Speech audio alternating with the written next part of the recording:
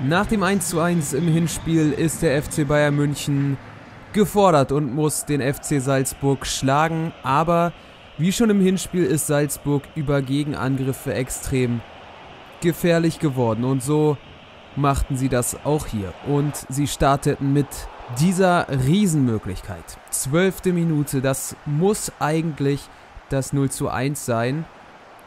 Adamu kommt da frei zum Abschluss vor Manuel Neuer, der zurückkehrt zwischen die Pfosten nach seiner Operation. Klärt den Ball zum Eckball.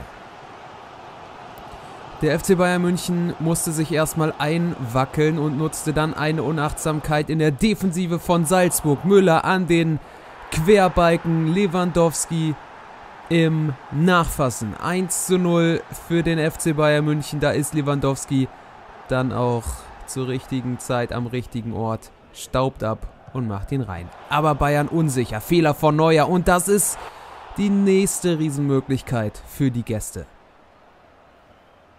Diese Unsicherheit in der Defensive beim FC Bayern München, auch von Manuel Neuer hier ein Stück weit mitgetragen.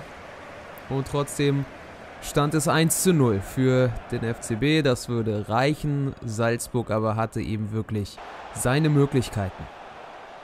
Durchgang 2. Bayern jetzt etwas wacher in der Anfangsphase. Lewandowski mit der Hacke zu Kingsley Kummer. So schnell kann es gehen. 2 zu 0 in der 51. Minute. Eine Unachtsamkeit in der Defensive der Salzburger. Es wird direkt bestraft. Jetzt brauchten die Gäste zwei Tore. Sané kann hier in der 56.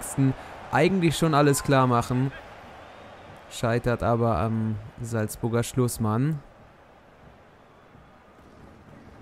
Dadurch blieb die Partie noch offen. Salzburg hatte seine Möglichkeiten. 20 Minuten noch zu spielen. Eckball von Ulmer hineingebracht. Piatowski mit dem Kopfball der geht aber am Tor vorbei. Neuer sieht das, schaut hinterher, guckt ihn um den Pfosten herum. Die Zeit lief den Salzburgern davon. Der FC Bayern München hatte alle Ruhe. Upamecano zu Lewandowski 3 zu 0. Die Entscheidung in der 87. Spielminute.